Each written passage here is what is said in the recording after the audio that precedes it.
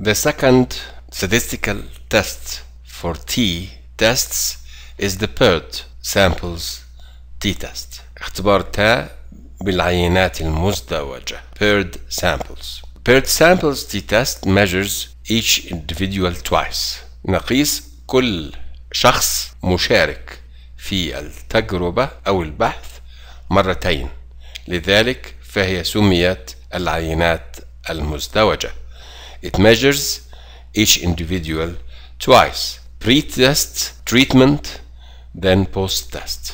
قبل العلاج ثم العلاج ثم بعد العلاج.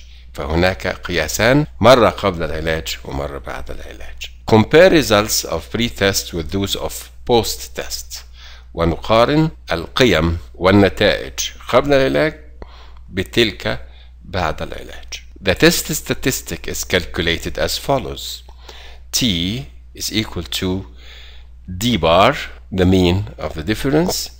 D bar divided by the square root of the variance. S squared divided by the number of participants in the study. N t is equal to d bar divided by the square root of the variance divided by the number of participants n d bar is the mean difference between each paired observations s squared is the, their variance and the n is the sample size example the following data describe the body weight of 10 obese patients in kilograms before and after treatment. Is the treatment effective in lowering body weight? هذه البيانات لأشخاص بدناء مصابين بالسمنة عشر أشخاص بدناء. وهذه هي أوزانهم قبل العلاج وبعد العلاج. من هذه القيم